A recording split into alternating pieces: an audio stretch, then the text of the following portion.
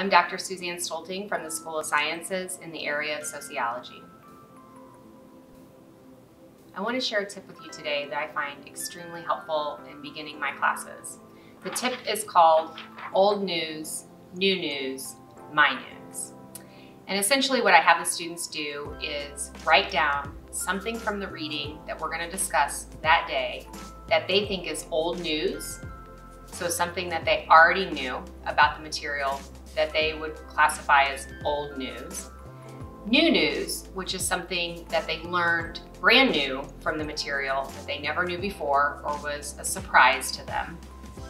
And last, my news, which is something about the material that they connected to personally or that made them think of something in their personal lives, personal experience, or um, something about it in something about their past.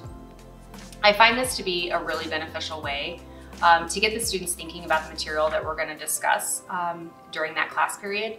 With the old news, I find that particularly helpful because I'll have the students kind of talk about what they wrote down as old news. And that's actually information that I will spend less time on. So it kind of helps me prioritize uh, my discussions. Uh, if the students, if I see a pattern in the new news, uh, that helps me kind of determine what we should maybe focus on uh, for that discussion, information that was surprising to them or that was new to them that I can help them sort of work through.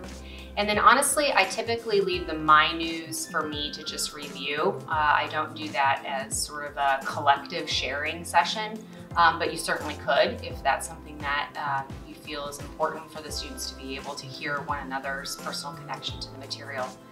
I think this is a great way, again, to begin the class period so that you have students sort of uh, getting their mind set on the daily discussion and a way for them to sort of reflect on the reading in a very short amount of time. It, I also collect it for points, although you wouldn't need to do that, but I find that the students um, take it a little bit more seriously if I do, and it's very quick and easy grading. So old news, new news, my news. Thank you.